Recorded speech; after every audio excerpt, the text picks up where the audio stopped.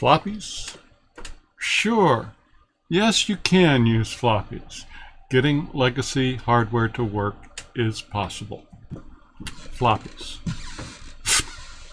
Who even does that these days? Last time I gave you one reason to say, what a maroon. Today I'm going to give you one or two more. As I said in my last video, this is a learning project, and I expressed my expectation that my curiosity would continue to serve me well. Sometimes it is not so much your specific destination that matters as what you see and experience and learn along the way. So, what's the other reason to say, what a maroon? Well, it's like this. The longest journey begins with a single step. And you always start at the beginning. My FX 4100 was built, you know, this system was built eight years ago on a board that still offered support for floppies and for, for parallel ATA devices. So I built the system, I put it into service, and at some point, I don't remember if it was initially or just slightly after that, I put these two floppy drives in it. Never actually used them. Had I tried, I would have discovered this issue a long time ago. So, you can use floppies in Ubuntu 18.04. I've not tried anything later. You can use floppies with Ubuntu 18.04 and with the Linux kernel version at least through 5.3. Now before I continue, let me offer this disclaimer. You should never type any command into your terminal until you know what it does and understand what you're doing.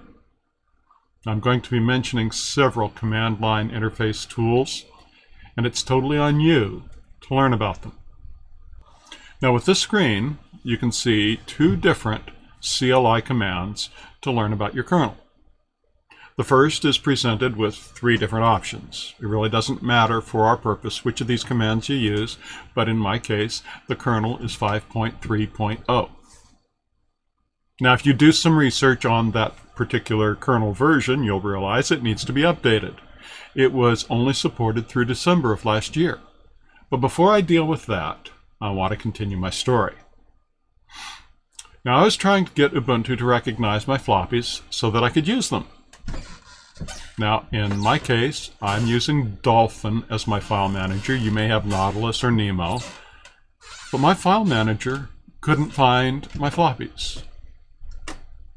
gparted also couldn't find them. So I did some research. And I learned the lsmod command, lsmod, would reveal if the floppy module was loaded into the kernel. If not, then modprobe, another command line tool, could be used to load the floppy module into a running system. And I learned there are two different configuration files that can be edited in order to have the floppy module load on boot.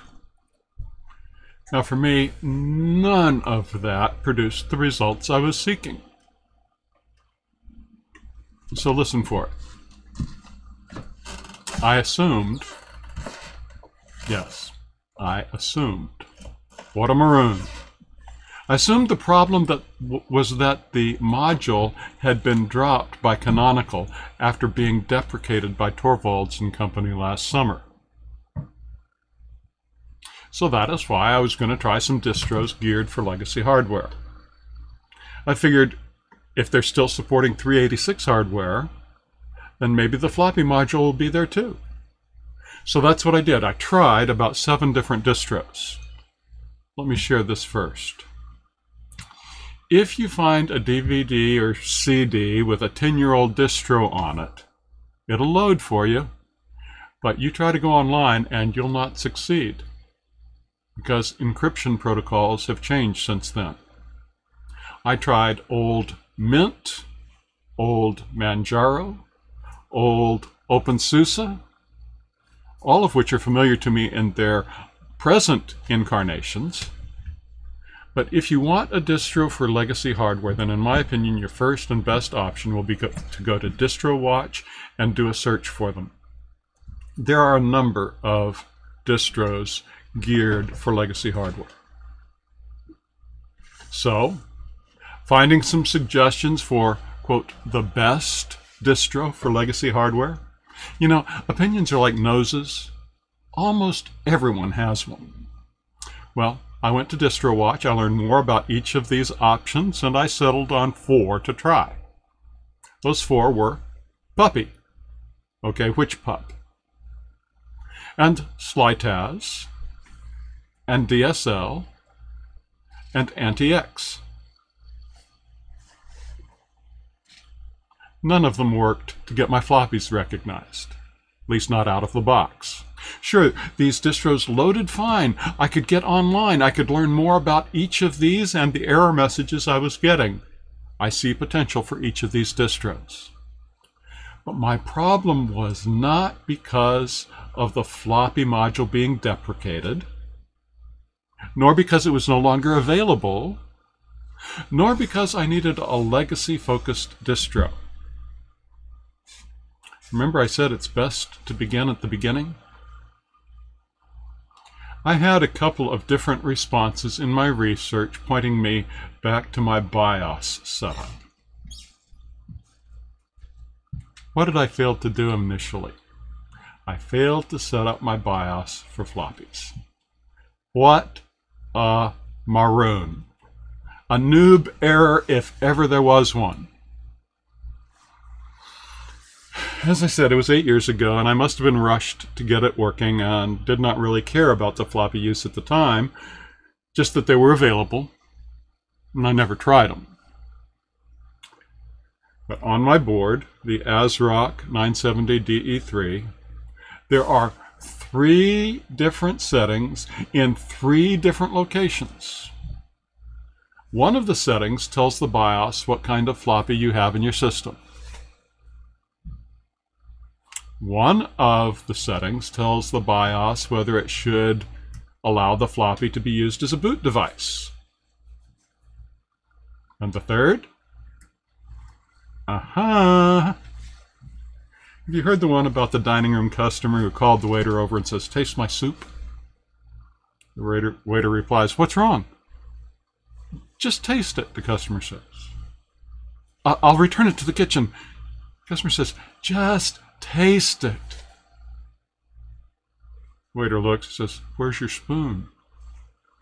Aha! Uh-huh. The third setting enables the floppy disk controller. Once I had all those options properly set and rebooted, now I have access to my floppy. In a modern LTS Ubuntu 18.04, with a Linux kernel 5.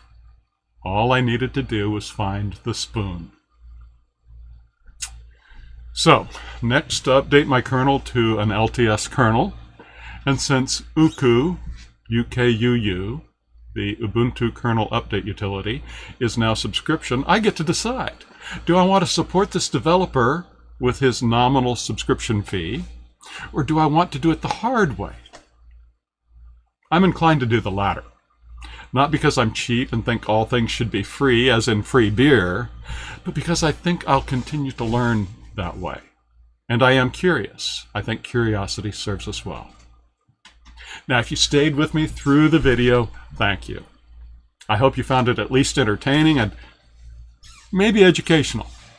See you next time as I continue to bring you videos on things you can do with tech. Stay curious, my friends. Stay curious.